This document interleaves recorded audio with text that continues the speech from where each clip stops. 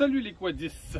Aujourd'hui, 8 août 2020, rappel vidéo de jour. Euh, juste pour vous mentionner que le miroir sur le quad est obligatoire à gauche, sur l'autoquad à gauche, central, puis je vous suggère de vous mettre un à droite aussi, c'est plus pratique. Vous allez voir avec un autoquad, quand on recule des fois, on voit un petit peu moins, moins bien.